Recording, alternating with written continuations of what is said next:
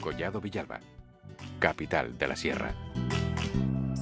A pleno rendimiento el plan de inclemencias invernales que ha activado el Ayuntamiento de Collado Villalba ante la previsión de estas nevadas desde ayer y lo más fuerte se espera en las próximas horas. Los vecinos además van a poder recoger sacos de sal en la nave municipal del polígono P29, aunque se recomienda que eviten desplazamientos innecesarios y se extremen las precauciones. Centenares de efectivos entre Policía Local, Guardia Civil, operarios de parques y jardines, además de la Brigada Municipal y Protección Civil, integran el dispositivo de seguridad y limpieza vial como nos comentaba el concejal de área, Carlos Sanz. Una vez que se declara el, estado de alerta 1, pues entonces ya tenemos que estar eh, en predisposición de salir en cualquier momento. De hecho, por esta noche pues ha salido a distintas horas, a primera hora de la mañana.